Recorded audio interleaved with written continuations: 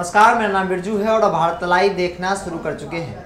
विधानसभा चुनाव में पार्टी विरोधी गतिविधियों में शामिल होने के लिए आरजेडी ने 22 जो नेता हैं उनके, उनको पार्टी से छः वर्ष के लिए निष्कासित कर दिया गया है।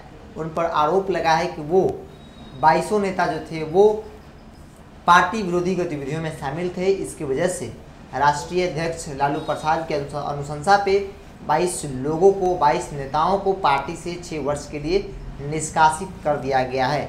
अगर मैं ला, नामों का लिस्ट जो है काफ़ी लंबी है, लेकिन मैं जिला वाइज बात करूँ तो पहले मैं बता दूँ कि बंका, बक्सर और पश्चिमी चंपारण के जिला अध्यक्षों की अनुशंसा के आधार पर इन नेताओं को राजद से बाहर का रास्ता दिखाया गया है। और जिलेवार तरीके से बात करूँ किस ज़िले कितने नेता थे बक्सर ज़िले आठ, पश्चिमी चंपारण आठ और बांका ज़िले के छः नेताओं को पार्टी से निकाला गया है।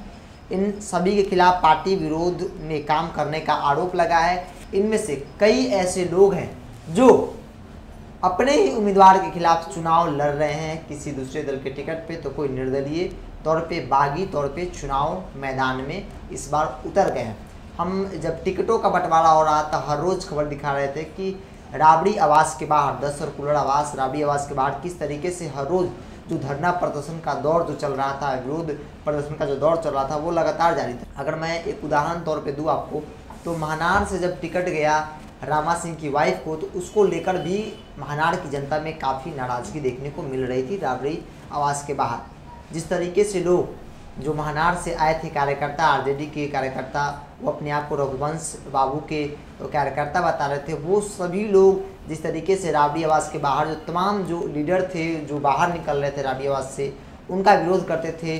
खास तौर पे जगदानंद सिंह जब निकलते हैं तो उनकी गाड़ियों को घिराव करते हैं गाड़ियों को पीटते हैं और ए, ए, कई ऐसे नेता थे जो बाहर निकलते थे बड़े चेहरे उनका विरोध वो लोग कर रहे थे। तो कहीं ना कहीं नाराज़गी जो थी वो दिख रही थी।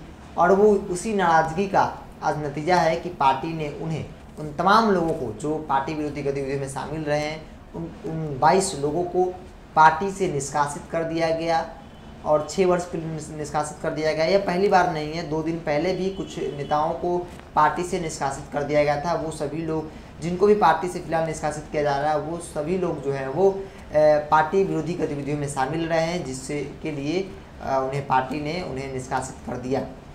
प्राथमिकी पद हो या तमाम जो उनके पद थे, उस पद से भी उनको हटा दिया गया है। ये तमाम जो कार्रवाई हुई है, वो लालू प्रसाद यादव के निर्देश पर इन सभी लोगों पे कार्रवाई हुई है। तो आज आरजेडी ने अपने 22 नेताओं को पार्टी से छः वर्ष के लिए निष्कासित कर दिया है। तो फ़िलहाल कितना ही, जुड़े भारत लाइव के साथ बढ़ाएँ अपना कदम सक्सेस की ओर। शिखर करियर इंस्टीट्यूट के साथ। शिखर करियर इंस्टीट्यूट पूर्वी भारत में एकमात्र कोचिंग संस्थान, जो एक्सक्लूसिवली है मेडिकल एंट्रेंस एग्ज़ाम के लिए।